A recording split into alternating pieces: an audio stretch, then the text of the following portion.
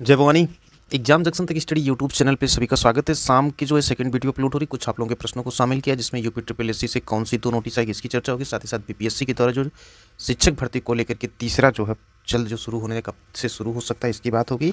और seated appearing शामिल होंगे कि नहीं होंगे, ये सबसे बड़ा सवाल है, कब तक आएगी, इसकी भी बात होगी। और झारखंड एसएससी के संदर्भ में जो नोटिस जारी और जूनियर इंजीनियर रिज़ल्ट साथ ही साथ वीडियो रिज़ल्ट किसी भी दिन जो टीचर्स में दिख रही है, खबरें इस पर भी चर्चा की जाएगी।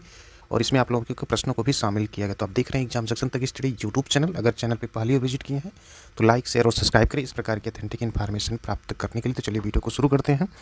वहीं उत्तर प्रदेश लोक सेवा आयोग से समीक्षा अधिकारी को लेकर के एडमिट कार्ड के संदर्भ में मेंशन नहीं किया गया, लेकिन आपको बता दें कि ये जो है तीन फरवरी को जो है एडमिट कार्ड जारी हो जाएगा। टेक्निकल इशूज़ की वजह से नहीं, तब तक एडमिट कार्ड आ गया होता। उसके संदर्भ में आयोग ने नोटिस भी जारी किया। तो अब तीन तारीख से समीक्षा अधिकारी के एडमिट कार्ड डाउनलोड कर सकते हैं। और खासकर ये बता दें लड़कियों का जो सेंटर है वो होम डिस्ट्रिक्ट ही सेंटर अलर्ट हुआ है।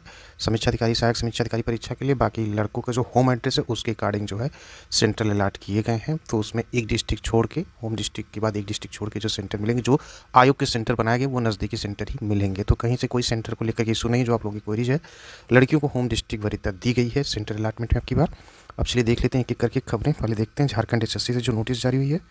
कल की वीडियो में बताया गया था झारखंड एसएससी में जो धरपकड़ की गई थी, उसके आधार पर जो है सामान्य स्नातक युक्तधारी संयुक्त प्रतियोगिता परीक्षा को लेकर के निर्णय जो लिया गया आज की डेट में जो है 28 जनवरी 2024 को आयोजित परीक्षा की तृतीय पाली में जो सामान्य ज्ञान में लीक होने की घटना और वहीं पर जो है उनतीस एक दो के अंतर्गत जो समस्त धाराएँ लगाकर जो है ये निराकरण हो गया है। और यहाँ पे जो झारखंड जो एसएससी है इसके अंतर्गत निर्धारित परीक्षा तीन पाली को स्थगित किया जाता है और दिनांक चार फरवरी 2024 को निर्धारित उक्त परीक्षा को पुनर्निर्धारित तिथि आयोग की वेबसाइट पर यथाशीघ्र जो है प्रकाशित। यानी कि जो परीक्षाएँ अब तक थी वो कैंसिल कर दी गई। बाकी जो चार तारीख को होने वाली परीक्षा थी, उसके लिए जो अलग से जो है डेट आएगी तो उसके लिए झारखंड एसएससी की साइट पर जो विज़िट करके चेक करते रहे, उसकी भी अपडेट चैनल पर दे दी जाएगी। और यहीं अट्ठाईस तारीख को आयोजित जो परीक्षा हुई थी, वो रद्द की जा चुकी है और अट्ठाईस एक दो परीक्षा की प्रथम द्वितीय पाली को भी रद्द कर दिया गया है। तो यहाँ पे जो दोनों पाली हैं, उसको रद्द कर दिया। तो ये झारखंड एसएससी की ये न्यूज़ है। बढ़ते हैं अगली खबर की तरफ़।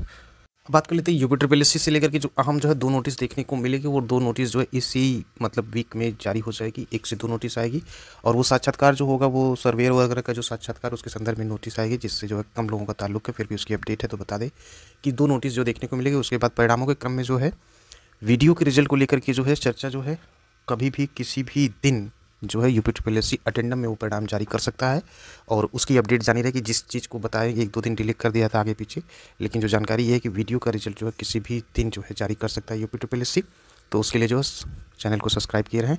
जैसे ही कोई अपडेट होती है, सुबह शाम की, वो बता दिया जाएगा। अभी फ़िलहाल ये मान के चलिए कि यू पी एस जो वीडियो को रिज़ल्ट को किसी भी दिन जारी कर सकता है। वो जूनियर इंजीनियर भर्ती के द्वारा जो विरोध प्रदर्शन कैंडल मार्च निकाला गया, जो इको गार्डन में जो है, उसके बाद एस के अभ्यर्थी भी विरोध प्रदर्शन कर रहे हैं। इन दोनों परिणाम का अपडेट है यूपी ट्रिपल काफ़ी दिन से जो इस परिणाम को रोक के रखा है, सिर्फ़ एक ना एक बहानेबाजी हो रही है और कुछ नहीं है।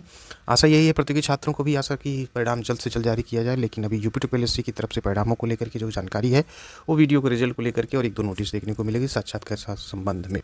अब जेई अभ्यर्थी जो है, यही खबर यहाँ पे दिखेगी दो हज़ार भर्ती का अंतिम परिणाम जारी करने की मांग को लेकर के धरना दे रहे अभ्यर्थी के गार्डन में कैंडल मार्च निकालकर महात्मा गांधी का शहीद दिवस मनाया गया। अब यहाँ पे जो है, कितनी इंपॉर्टेंट चीज़ें हैं, आयोग नहीं समझ रहा है कि यूपी ट्रिपल आयोग के अंतर्गत दो परीक्षाएँ ऐसी हैं जो कि जेई और ए इतने दिन से चार साल में बाद सारी प्रोसेस हुई, उसके बाद जो दस से ग्यारह महीने की प्रोसेस डीबी वगैरह की भी हो गई। फिर भी परिणाम को लेकर के कोई ना कोई एक बहानेबाजी ही कही जाएगी, उससे कुछ नहीं किया जाएगा। क्योंकि इस प्रकार की जब विज्ञप्ति जारी होती तो पहले ही आयोग को क्लियरेंस होना चाहिए कि किस डिग्री को चाहिए, कौन सी डिग्री नहीं चाहिए, कौन सा वैलिड है, कौन सा नहीं वैलिड है, जिससे प्रतियोगी छात्रों का समय बचे। और ये आशा है कि जो है यूपीडब्ल्यूएससी संज्ञान में ये बातें हैं जेई और एस अभ्यर्थियों को लेकर के तो इसको भी लेकर के निर्णय त्वरित हो और पंद्रह तारीख के पहले जो है, परिणाम के बारे में लेटेस्ट अपडेट क्या होगी, वो भी आपको चैनल पर बता दिया जाएगा। अभी फ़िलहाल जो स्थिति यही है कि इस माह में जो है जूनियर इंजीनियर का रिज़ल्ट जो आएगा, वो बहुत ही तेज़ी के साथ काम करने पर यूपी पहले इस माह के लास्ट तक जो है परिणाम जारी कर सकता है। अभी फ़िलहाल यही मान के चलिए। बाकी अगर इसमें कोई परिवर्तन होता है और वो जल्द जारी होने को तो भी अपडेट आपको चैनल पर दे दिया जाएगा। और वीडियो के रिज़ल्ट के बारे में आपको बता ही दिए जो आप लोगों की क्वेरीज थी बात कर लेते हैं जो है बिहार शिक्षक भर्ती को लेकर के। बिहार शिक्षक भर्ती को लेकर के जो है, जल्द ही जो है इसमें प्रक्रिया जो है, और एक बात और यूपी डब्ल्यू को लेकर के बता दें कि जो एएसओ के रिज़ल्ट वाले हैं, किसी भी अभी अब तक कोई बताया नहीं होगा, कहीं पे जानकारी नहीं होगी। लेकिन जो जानकारी जो है ये भी है कि जो वीडियो का रिज़ल्ट है और ए का रिज़ल्ट है, इन दोनों रिज़ल्ट में जो है, जो संभावना जो है, अभी एग्जैक्ट नहीं बता सकते क्योंकि आप लोगों को थोड़ा सा वो लगने लगता है, कोई चीज़ें डायरेक्ट नहीं कही जा सकती तो। इसलिए ये मान के चलिए कि ये दोनों रिज़ल्ट में जो है ना, किसी भी समय, किसी भी दिन ये परिणाम देखने को मिलेगा, जो कि किसी को अनएक्सपेक्टेड होगा और यूपी ट्रिपल जारी कर देगा। ये अपने माइंड में रखिएगा और आपको ये खबर एग्ज़ाम जंक्शन तक स्टडी यूट्यूब चैनल के माध्यम से दी जा रही है। तो निश्चिंत रहिए और अपने जो काम कर रहे हैं वो करते रहें। परिणाम जो है जल्द ही देखने को मिलेगा और आशा भी यही की जाती है कि यूपी ट्रिपल ये काम करते जो आपको अपडेट दे रहे हैं। ये जो अथेंटिक इन्फॉर्मेशन डिलीवर की जाती है, बस इतना जानिए कि परिणाम देखने को जल्द मिल सकता है किसी भी दिन। अब बात करते हैं बिहार के संदर्भ में। सीटेट अपेयरिंग वाले को संदर्भ में जो पहले ये बता दें कि जो सबसे बड़े है थ्री पॉइंट ज़ीरो को लेकर के कहीं से भी ये नहीं नहीं होगा, क्योंकि बिहार सरकार जो है गठित हो गई है एनडीए के साथ। तो इसके लिए जो है ये भर्ती लाने के बाद लोकसभा चुनाव में जाके गर्जना ज़रूरी है ना, वो बताना भी ज़रूरी इसलिए भर्ती जो है आएगी। और इसको लेकर के जो है सब कुछ प्रक्रिया जो है जल्दी से अभी वीडियो में बताया गया था ना कि मांगा गया खाली पदों को लेकर के। तो कुल मिला के ये मान के चले कि फरवरी तक, फरवरी की मतलब कि नोटिफिकेशन जो होगा वो 10 से 15 फरवरी के बीच में होगा। उसके बाद जो परीक्षा को लेकर के जैसे चुनाव की प्रक्रिया को उसी अनुसार डिसाइड करेगा। उसके बाद परीक्षा वगैरह होगी।